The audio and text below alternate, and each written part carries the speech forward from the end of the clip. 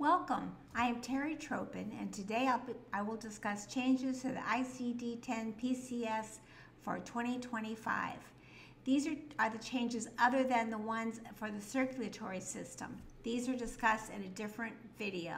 Remember that the 2025 changes are effective October 1, 2024. So coming up, let me start with information about myself. I have a master's in healthcare administration informatics from the University of Maryland Global Campus and have RHIA and CCSP certifications. I also taught at Montgomery College as an adjunct professor in the Silver Spring Takoma Park campus.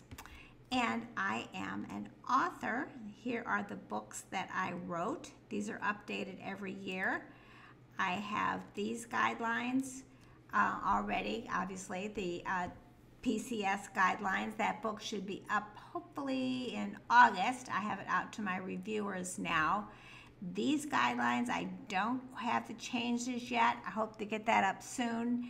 And um, the E&M coding guidelines won't be up until, won't be available till fall for 2025. So that'll probably be up in um, mm, September, October, maybe November, hard to say. And then I also have this book, which is Changes to CM and PCS, and I, I have that up for 2025 when I have all the information. These books are available on Amazon and updated every year because there are always changes every year. So this is what I'm going to talk about um, in this video. These are going to discuss the major changes for 2025 this is going to be just the major changes, not every single one. If you want to see all the changes, there's a link in the description for this video that will take you to see every changes. Now, changes related to the circulatory system were discussed in a previous video, and you can see that one. There'll be a link to that at the end of this video. So what am I going to talk about in this one? Well, the medical and surgical section there are changes to the central nervous and cranial nerves section, lymphatic and hemic section, skin and breast, and then of course in the new technology section, um, always lots of changes in that one. Skin, subcutaneous, fascia, and breast, joints, introduction, transfusion, and measurement. So these are the ones I'm going to talk about. So Luckily, yay, no changes made to the ICD-10 PCS official guidelines. So that, at least, we don't have to worry about for this year. So I would suggest you get out your ICD-10 PCS 2024 book to follow along because I'll refer to the tables and you can see where it is changed as we go along. So let's start with table 005 in the medical and surgical section. This is central nervous system and cranial nerves. You can see this is destruction and you can see there is a new qualifier value. This was my favorite word for the new um, 2025 stereo electroencephalographic radiofrequency ablation. Okay, and this is in destructive. New qualifier value. So what the heck does that mean? Well, this is a procedure used to destroy the brain and nervous tissue by temperature control stereo electroencephalographic radiofrequency ablation. Ablation, of course, means destruction. So it's used to create lesions in patients with drug-resistant epilepsy. Sometimes creating lesions will um, treat the epilepsy. This procedure has been approved by the Food and Drug Administration. Note that some of these things we're going to talk about have been approved by the FDA at the time these changes were posted, but some have not. So if it says it has not, then you need to check and make sure that they have been. The expectation is that they will be approved shortly, but they were not at the time that um, these changes were posted. So let's now look at 00K, also in the nervous, uh, central nervous system and cranial nerves, but this one is for MAP, and this is for connectomic analysis.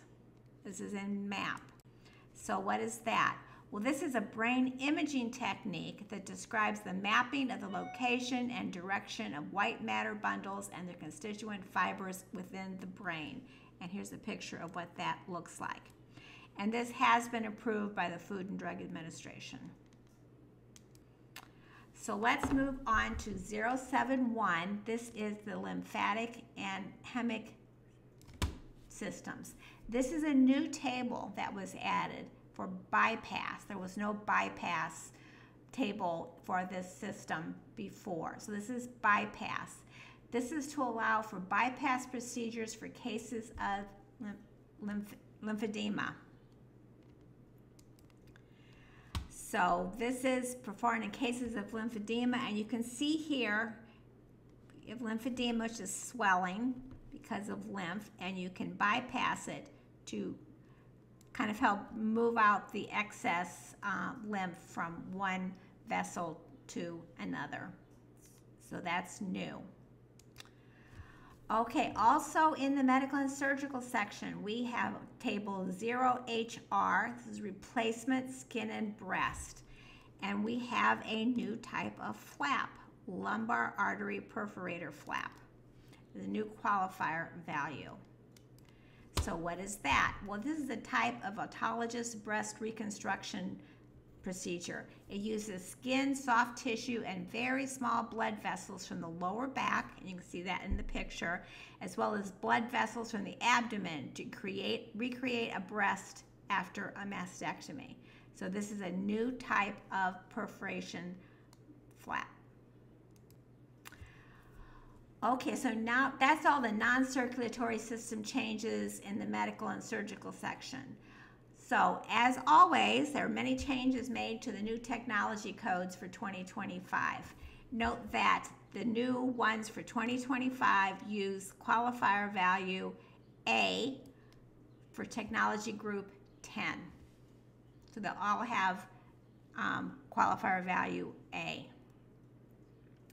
So first we're going to start with prademagene zamikeracel, genetically engineered autologous cell therapy. It's a new device substance technology. This is for skin with replacement procedure. And this is skin in extremities, head, neck, chest, abdomen, and back. Lots of different areas of skin. So what is this? This is this is very sad.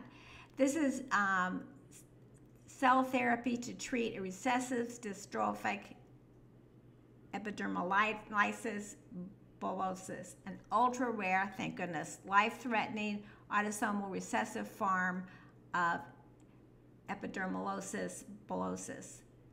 Uh, causes painful blistering and erosion of the skin, as you can see from the picture. This drug has not yet been approved by the Food and Drug Administration. Okay, so now we're also in the new technologies section, we're going to see joints, and this time it's uh, root operation fusion. And this has a new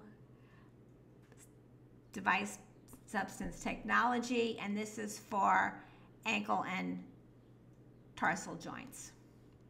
It's internal fixation device, gyroid sheet lattice design. So let's see what that is. It's a series of cages and a variety of shapes and sizes used for fusion, and it provides stabilization of the hind foot and ankle with an intermedullary nail for fixation. Okay, so there's lots of different sizes, so you can really get the one that fits this particular patient best. This has not yet been approved at the time that these changes were posted. Okay, second new technology change involving joints, but this with root operation fusion. So this time it's facet joint fusion device paired titanium cages. And this is for vertebral joints, lumbar and thoracolumbar joints. So paired titanium cages a small, hollow, box-like device made of titanium, a biocompatible metal known for its strength and durability. The cages are designed to fit between the vertebrae and provide structural support while promoting birth, bone growth, used with lower vertebral joints following surgery. Okay, and that's the blue in the picture. This device has not yet been approved by the Food and Drug Administration. Okay, so another one in the new technology section for joints, but this one's insertion. So this is Carbon PEEK Spinal Stabilization Device pedicle based. So let's see what that is. This is used to stabilize the spine following surgery and to treat spinal infections. And this has been approved by the FDA.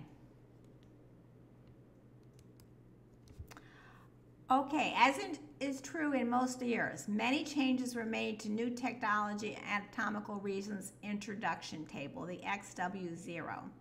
These include a lot of new substances and devices. So we're going to start with body part value subcutaneous tissue, um, dasiglucagon, used to prevent and treat hypoglycemia in pediatric patients with congenital hyperinsulinism um, and then hydrochloride, and tobramycin, sulfur anti-infective, temporary irrigation spacer system. Okay, it's a drug used to treat periprosthetic joint infections, a complication of joint replacement therapy. And then we get to AGN1 bone filler, bone void filler. So there's a, a void, an opening in the bone, and this is something that it fills it fills up the bone. It promotes bone ingrowth and repair for patients with fractures or bone defects. Now, there's a bunch of drugs, and I'm not going to try to pronounce these because they're ridiculous. Um, used, and, but these are listed in body part values, peripheral and central vein. So the first one is made to is designed to reverse the adverse effects of another drug. The other drug is a great drug, but it, does major bleeding associated with surgery. So you want to reverse that adverse effect of the other drug. The second one treats complications, it's an anti-infective, treats complications of urinary tract infections, including pyelonephritis and other um, conditions. The third one in, uh, is used to treat, is also an anti-infective, treats challenging infections, ones that are resistant to um, other treatments, um, infections caused by gram-positive bacteria, and it lists several other ones, including MRSA, um, strep, pneumonia, staph, other ones. Okay, and this one is uh, treats adults with relapsed refractory B cell precursor, precursor acute lymphoblastic leukemia. This one is uh, treats follicular lymphoma. This one, uh, graft versus host disease, or death in patients with acute um, leukemias and other conditions. This one, adults with previously treated locally advanced metastatic HER2 positive biliary tract cancer. And this one, non-chimeric antigen receptor T cell immune factor cell therapy treats a wide variety of cancers and non-cancer diseases such as multiple sclerosis.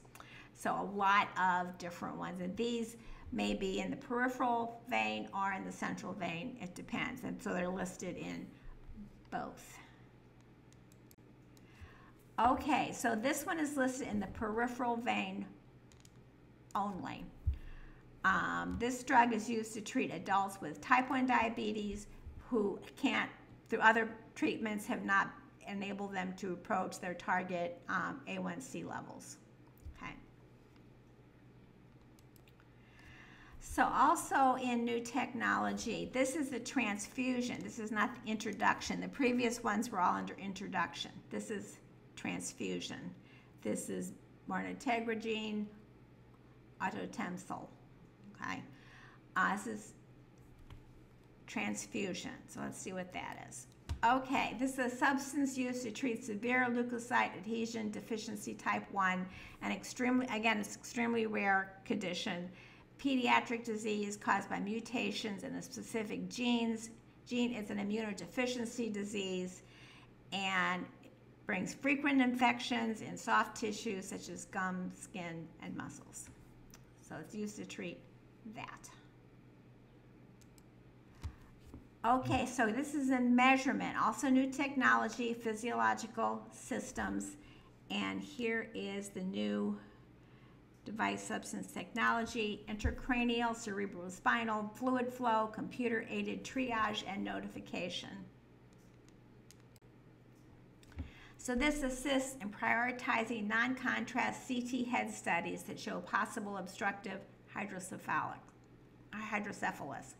So it looks into, uh, the computer looks into whether or not it's probable that uh, hydrocephalus is, is there, and then they can look at it uh, more, um, give, give another look to see if it is or not with other um, instruments or with a, a physician. So it kind of gives a first look to say, hmm, maybe we should take another look at that one. Okay, so that's the video. That's the non-circulatory um, changes. So again, here are my books, which are current now, and I will update them as I can. This is where to contact me with questions or comments. Here is where you can contact me if you want a copy of these slides. I will send you a PDF of them. My books are updated every year. Thank you so much for listening. I hope this is, was helpful. Thank you.